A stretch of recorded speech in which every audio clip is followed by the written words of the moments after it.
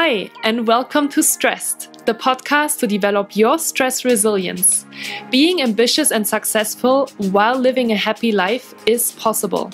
Learn how you can better cope with stress in day to day situations by applying tools and techniques that work for you. My name is Julia Arndt, and I'm extremely grateful that you decided to check out my podcast today. Let's get started. Hi, and welcome back to STRESSD, the podcast to develop your stress resilience. I am super excited that you are here today to listen to today's podcast episode, where I will talk about what to do when your environment doesn't support your new lifestyle choices. And this is a topic that I am hearing very often when I'm speaking to clients, and it has actually come up um, speaking to a person that I have met um, just recently. And she asked me this question the last time I caught up with her when I was on my travels in New York City. And I thought this question was really powerful, and I really wanted to make sure to share a couple of tools with you today or a couple of thoughts that I think are so important to think about when you are starting to basically make choices in your life to live a better life, to live a less stressed life, and you are making choices that are different to the ones that you have made before. So, for example, you are choosing to stay home instead of going out with your friends, or you are choosing to set boundaries at work and you are getting, you know, you're getting maybe in difficulty with coworkers. So, whatever it is, I want to talk about this today because I think there's a couple of really important things that I want to share with you. Of course, as always, I want to share as much information and as many practical tips with you as I possibly can to help you really move from stress to empowered and into a more empowered lifestyle that you love. So, as I said, so you might have started to make some changes in your life and you're making decisions to be less stressed. And people might not understand this all the time. They resist you, they may even say something negative to you. Or um, you really wish that you want people to talk to talk and to walk with you this new walk that you have chosen. And it pulls you back to be together with them. So i really want to speak today about what can you do when your environment doesn't support your new lifestyle choices or you're just running into challenges with that. And the very first thing that i want to share about this specific topic is that you are always the people that you surround yourself with, right? There's a quote that says, You are the average of the five people that you surround yourself with. And now you might be thinking, Yeah, it's really difficult because um, I'm not really surrounding myself currently with people that are aware and mindful of being less stressed in their life and making specific choices. And sometimes it's difficult, right? Because it's our close friends or it's our family, maybe it's your partner that has a different lifestyle than you have. And it might be really difficult for you to go this walk alone, right? Because it's scary and um, and a lot more challenging if you don't have support. So, first of all, I want to tell you that I am here for you um, and that I really I really believe in you and I'm so excited, you know, that you've been listening to all of these podcast episodes and that you are continuing really to apply the different tools that you have been learning over the last couple of weeks and months. And you're not alone. And I am the first person that surrounds you. You're, I'm the very first person out of your five because the person and the people that you surround yourself with doesn't always have to be a physical person. It can also be a a virtual person. It can be a person that um, is here, that is that is there for you in a different kind of capacity.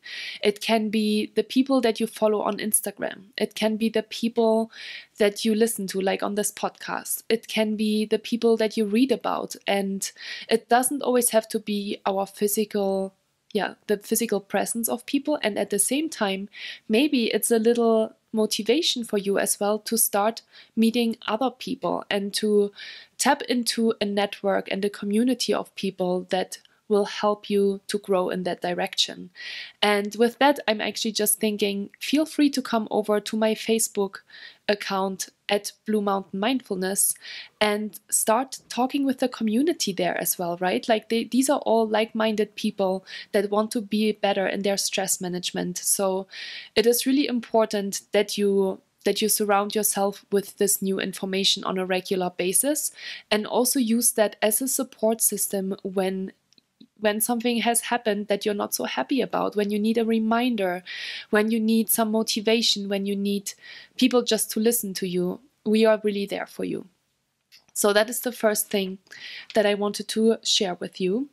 And very often we hear people say, maybe you might have heard that as well, right? People say to you, oh, oh, you're being less stressed or you're doing all these different things. And they don't believe it. They think that we are just living in a really busy world, that we are constantly connected, and that we can't change anything about this. There's another really powerful quote that I want to share with you at this point, and the quote goes a little bit like this. It's don't quote me on it word by word, but it's something around like if people say it can't be done, it's more a reflection of their own limitation, not yours. And that is so I, I love this quote. So let me read it again to you. If people say it can't be done, it's a reflection of their own limitations, not yours. So if you hear people say, I can't do this and I can't do that, it's they say that because it's their own limitation, it's how they are thinking, but it doesn't mean that it applies to you. You always have a choice. You always have a choice to do something for yourself, to feel better, to, for example, choose to disconnect yourself from your devices once or twice a day, maybe for an hour in the morning and for an hour in the evening. It can be done. And I'm so proud of you for for starting to implement these different things into your life. And if people tell you it can't be done, it is a limitation of their own thought process and not yours. And you know what is really important, especially when we're talking about family and partners as well, is that everyone grows at their own pace, right? We are sometimes we we really especially when we're going through a transformational process on our own we really want to have support and we, of course, look for the support in our closest environment. We look at our partners of how they live their lives. We look at our families and we want their support. And sometimes we don't get it because, again, they might not be at the same growth stage as you are right now. And everyone grows at the end of the day at their own pace. And that can be sometimes really, really hard, right? Because maybe you uh, are already a year or two years ahead of them, and that brings also its own challenges with within the family or within your partnership. But you really have to stay focused on yourself and you can't expect others to change because when you are thinking about change and that's always the easier thing to do, right? We are often expecting other people to change. And there's it's a big stress factor as well. We often think oh if only if they would change this thing or if only my colleagues wouldn't would start would stop sending me all of these invitations or these late night meetings or whatever it is then i could be better. But you always have a choice and you can start making really tremendous changes in your life by walking i think they say by walking the walk, not just talking the walk, but by walking the walk. And um, and this is the same in stress management and when you want to create a wonderful, beautiful life that you love. So yeah, so always if you if you get frustrated, if you find yourself in a situation and you're thinking, I would really love this person to just go on that same um, path with me on this on this personal development path, you can wish that and obviously you can um, you can express that but you cannot expect that. And you cannot say only if they do it then i do it. It's always of course helpful and it's it's better but it's not the same thing. And in my partnership it's the same thing as well. Like i am probably a little bit further ahead with my own stress management. My partner has his own business as well and is going through very stressful periods of time. And he sometimes has stress management tools that I don't really approve of, but I, I can only tell him and I can only, you know, share with him what I think would be better. But at the end of the day, it's him who's choosing that. And he needs maybe a little bit longer and a little, maybe some crazy eye opening um, experiences to to then really make the right choices for himself. So it is always really, really, really important that you just stay on your own path because nobody can help you on that. It, it has to be you. And so, yeah, to, to be okay with really that scenario and with that experience is really important. And that might take a little bit of time, and that's totally okay as well. So, what I always think is that the most power is behind you when you show people how you can actually change and that change is possible and how much better you are and how much better you feel. And so often I hear people say that so often, right? I, I even said that I say it a lot in my trainings as well when I'm talking about stress management. We always think we have no time for stress management, and it's a limitation, right? Because we live nowadays in a world and in a society where we learn how to be busy all the time. We learn how to always want more and always strive for the next thing and i don't say that it's bad that we do that i think it's it's very human and that's all how we all grow but sometimes we need to wonder and ask ourselves what is it what is the right thing to strive for? And how can i find the right balance between both? Because if you work yourself to the ground um, it's not going to help you in the long run because your body will get back to you on this for sure and so yeah so it's really important that you stand in your power and your power might be little right now, but it is still a power. There's still a seed within you that has started to grow. And I want you to stay in that power because it's the most powerful thing that when you show other people what you're capable of doing, people will start listening and people will start looking at you. Because that is the best proof to give in order to yeah to move forward and hopefully get other people on the same path as you are. Because at the end of the day really being confident is super contagious and the most powerful message that you can give people.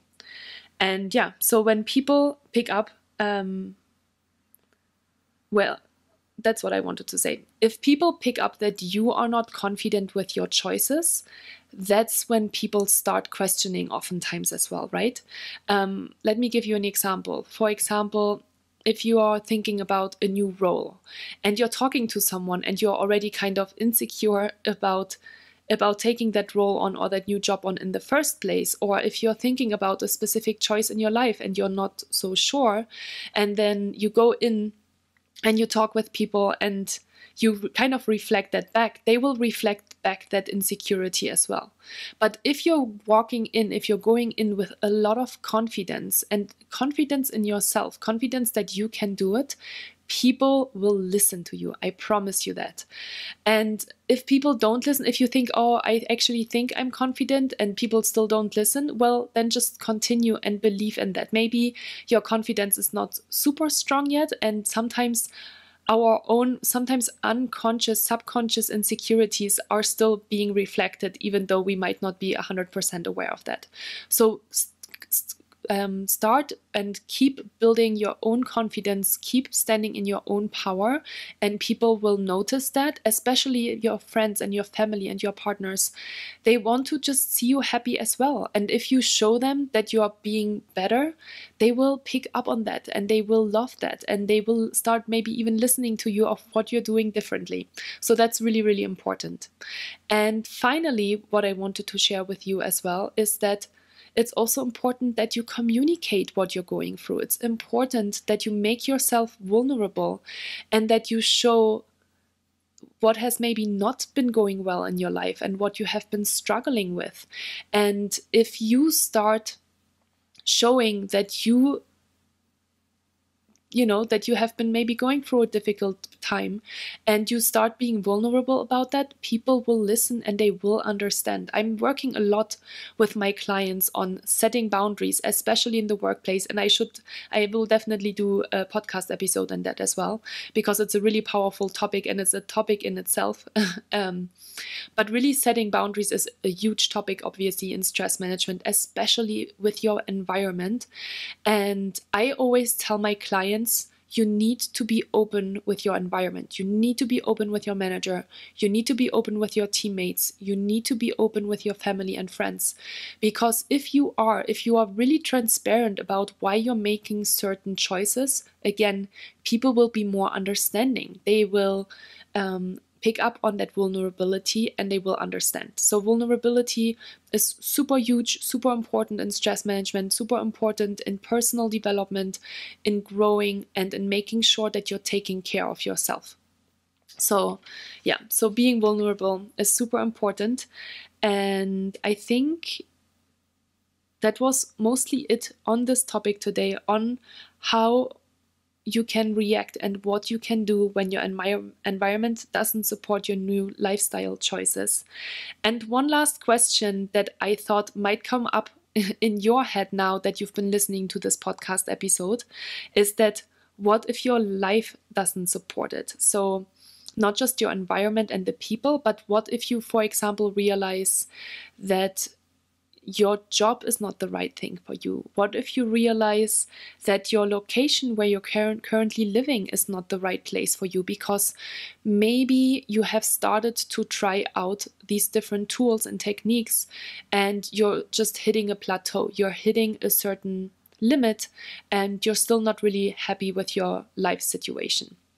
So, again, I think that's a little bit a topic in itself, but I think it's really important and it's important to have that realization. It's important to test it out and try.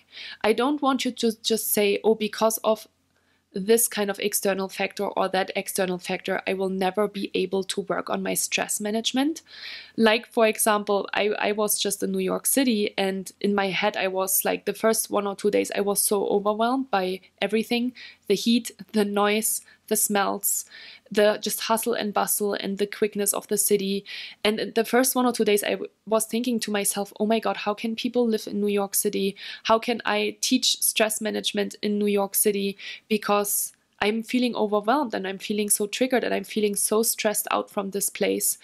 And you know, I could have just gone in there and I could have said, okay, like for the next week, I just can't do anything because the city is just crazy. but I kind of took it back to me and I asked myself, what can I do? What can I do to change? What can I do to make me feel better what can i do for myself? And that was really powerful because once i stepped into that choice once i stepped into my own power and i decided i can still do my morning routine. Yes maybe it's a little bit more difficult because i have all these different appointments but i can still do it. Maybe i do a, a shorter version of it. Maybe i'm journaling later in the day or before going to bed but i will find time for the things that are important to me because i know they have a strong and good effect on that. So always try it out first when you're having this realization that you might think oh it's something in the external world that is limiting my me to that and and get good at that get good at the things that that you want to bring into your life um, and when you then still at some point find yourself wondering if it might be better or if you just choose that in the long run you need something different, then that's okay too. That's totally okay. Because not all of us are made for New York City, not all of us are made for the tech industry, not all of us um, are made for living in Tahoe in the woods. Like there, everybody is different, everybody has their own preferences, and that's why we can all exist together. So, so yeah, that, so that's really important to note as well. And if you are interested to really start making powerful changes in your life, I can just highly talk about my new eight week online coaching program called From Stressed to Empowered. It launched this week it launched on July 17th, and I am so proud of this program. I have received so much positive feedback about it, and I am so excited to share this with you because so many people are talking about making changes in their lives. We are in a, we live in a world where we are constantly feeding our brains with information. We are listening to podcasts, we are reading books, we are really trying to get better, and that's obviously definitely one step of how we can achieve that. But on the other hand, we also need to come into action. We need to start doing and not just think. And that is what the eight week online coaching program is there for, because you will start making changes in your life. You will act- actively work on this over eight weeks together with me. So you will basically receive a 30 minute video um, every week, and then you have different exercises that you're going through in a beautiful workbook that I have put together for you. And you will also become part of the exclusive FSTE community on Facebook where you can exchange yourself with other participants. You can share things, and I will be there in this community to exchange thoughts and coaching tips as well. I will be there for you. So if you are interested, I would love to come, I would love to have you, and I would love if you would come over to my website um, bluemountainmindfulness.com forward slash courses. And you can read a little bit more information about the course. You can read the success stories of my beautiful participants, of so many amazing individuals from tech, from the tech world, from the consulting work, from different work backgrounds that have successfully completed the program and have made incredible changes in their life because they have decided to make a change. They have really worked so hard and I've I'm so I'm I feel like a mother. I feel so proud um, to see what they have been able to do. So so yeah, so come on over and check it out if you're interested, if you are ready to make changes in your life, if you're ready to start, if you're ready to step into your power and take action. I would love you to come and join the FSTE program. So, with that said, thank you so much for listening to today's podcast episode. I am always so grateful that you are here, that you are my community, and you can always reach out to me either through my Instagram account at Blue Mountain Mindfulness or you can come to my YouTube channel where I'm sharing more information with you, where I'm sharing more tools and tips and techniques with you about how you can better manage stress and how you can really step into a more, more powerful life.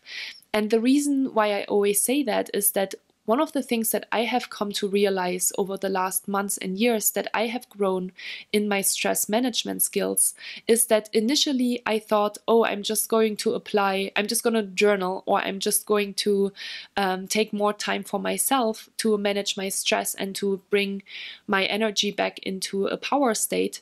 But what I have really understood is that we have to work on our triggers.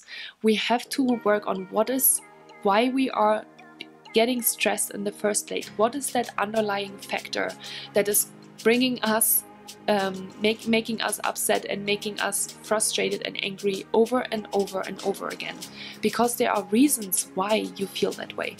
And we will talk about this more and more in the podcast. And again, if you want to really, if you are no coward and you want to start looking at these specific things, come join me in my FSTE program. Anyway, that's what I wanted to say.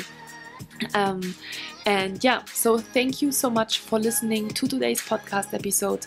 I am super grateful that you are here. I'm excited to hear from you. If you have any questions, feel free to reach out. And I wish you a wonderful week, a wonderful rest of your day, and I talk to you soon. With gratitude, Julia.